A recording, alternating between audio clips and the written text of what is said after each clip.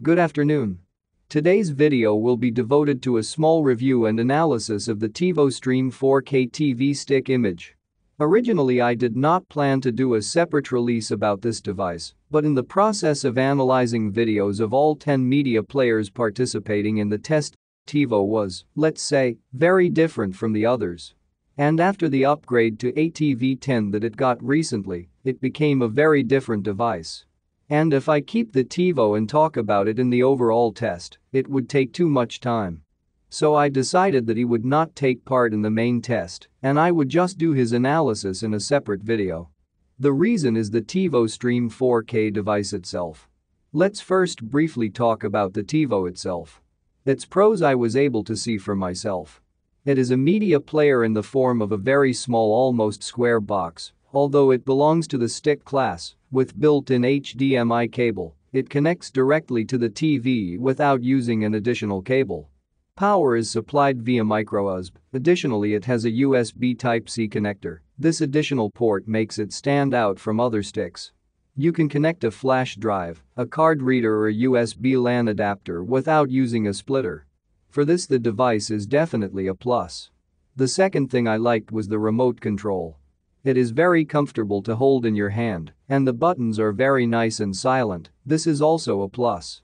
The third plus is support for DV format and online services such as Netflix, Amazon, Disney, etc. is the official Android TV OS and has all the necessary certificates for video. The sound is able to Dolby Digital, including Atmos in EAC3 format and DTS Core. In general, this is enough for streaming services. The chip on which this player is built, this Amlogic S905Y2. In fact, this is a power-efficient copy of S905X2. But there is no energy efficiency here. I tested its power consumption compared to the UGOOS X2 Cube I have on the full-fledged X2 chip. The UGOOS X2 with a connected USB receiver for the radio remote consumes 3.4 to 3.9 watt when playing 4K HDR 80MB video and the TiVo Stream without additional USB Type-C devices consumes 3.6 to 3.9 watt for the same content. It is possible that the Wi-Fi module and the additional USB Type-C chip consume a lot. But a fact is a fact, it is not the coolest device, and in terms of power efficiency, it strongly loses to the leader of these tests, in which I measured from 1.2 to 1.9 watt, although it was also working via Wi-Fi. The main complaint to the chip Amlogic is the built-in image enhancer, it spoils the image so much that it must be turned off, and then it becomes almost ideal in terms of image quality. Who is familiar with the UGOOS X2 knows that the developers spent more than a year to finally defeat this image enhancer in their firmware.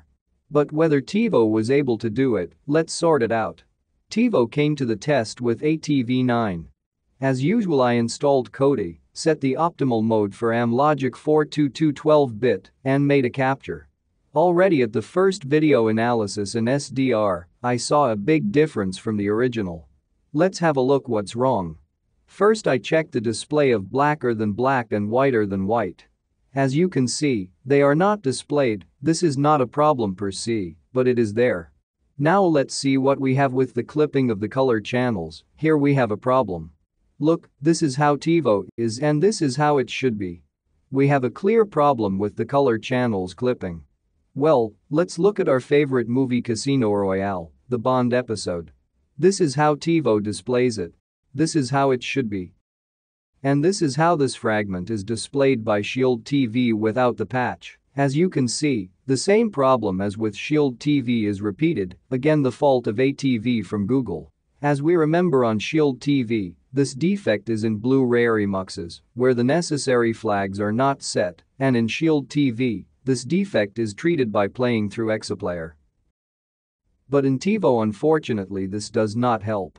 It displays the wrong colors on any video, even where there are flags, and even in the built-in player ExoPlayer.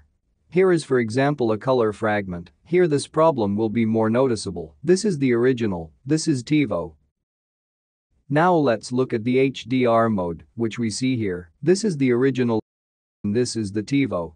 The colors are normal, that's nice. And what about the image enhancer, it's complicated. Here is a picture from Bond. And here with TiVo. We see that the difference is only in colors. It seems that the enhancer didn't work this time. If you have seen video about Amlogic, there I also periodically couldn't catch it working, it would switch on and off. And here is an episode from the Burbs, this is TiVo. And this is Oppo. As you can see here it turned on. Now let's look at the HDR. The problem is less obvious here, it's not a very good video, but trust me, when you watch the video in motion, it becomes more obvious, the image becomes unnatural, the contours stand out strongly, and small objects blend together. Now let's look at the Dolby Vision. Clip from Spider-Man and Dolby Vision Profile 8. This is a capture from another device, I won't name it.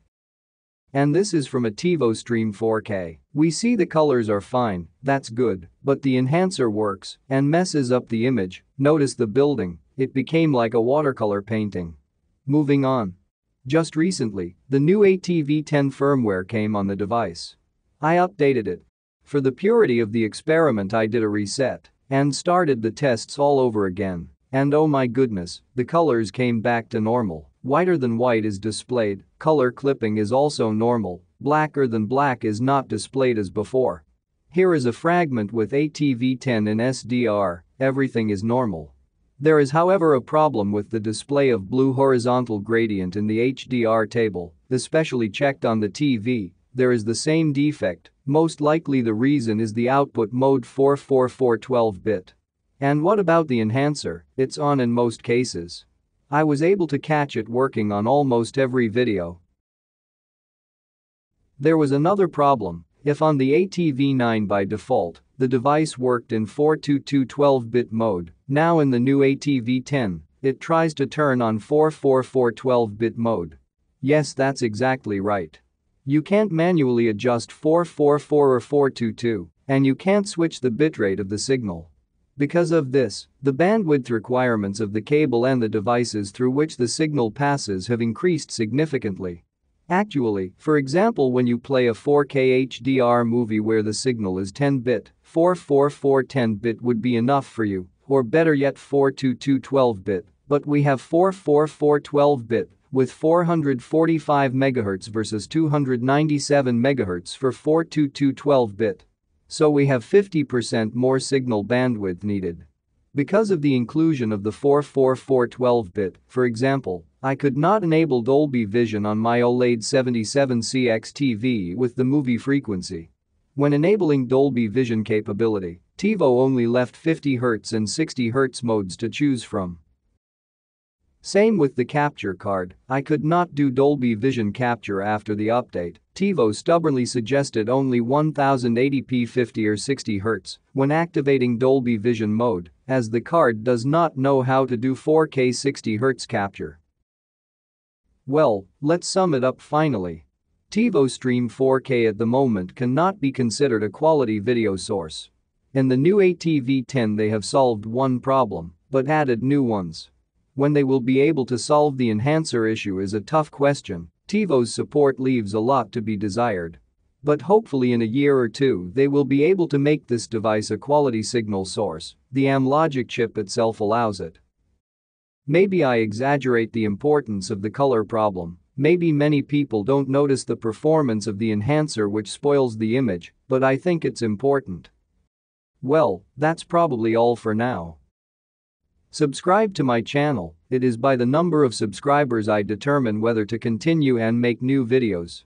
The next video will probably already be the first part of the big test, in which TiVo will not take part because he will always take the last place.